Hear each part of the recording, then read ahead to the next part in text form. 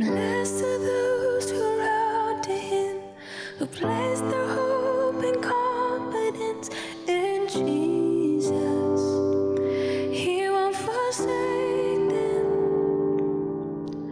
Blessed are those who seek His face, who.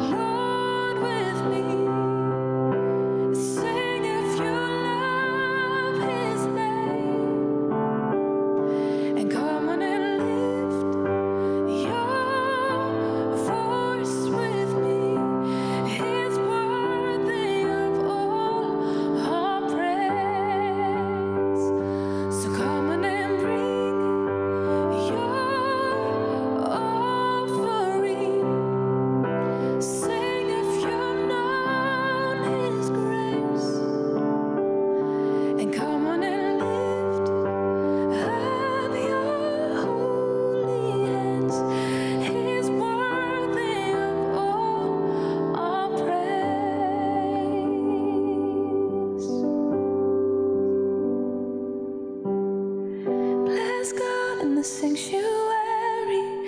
Bless God in the fields of.